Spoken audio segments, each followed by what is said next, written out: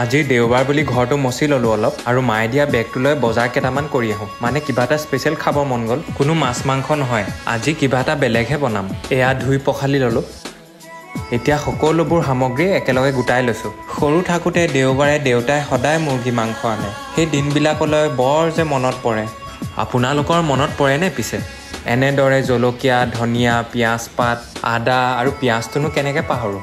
সকলোবোৰ মিহি মিহিকৈ কুটি লৈছোঁ। পিছে কৈ দিওঁ আৰু মই আজি আলু পিটিকা আৰু লগত এটা অমলেট বনাম। আলু পিটিকাটো আমাৰ অসমীয়া মানুহৰ সকলোৰে প্ৰিয় নহয় জানো? আজিৰ পিছে আলু পিটিকাটো অলপ ব্যতিক্ৰমী হ'ব। ইয়াত মই নিমখ মিঠাতেল পিঁয়াজ পাত ধনিয়া অলপ আদা আৰু পিঁয়াজ সকলোবোৰ সংমিশ্ৰণ কৰি দিছোঁ।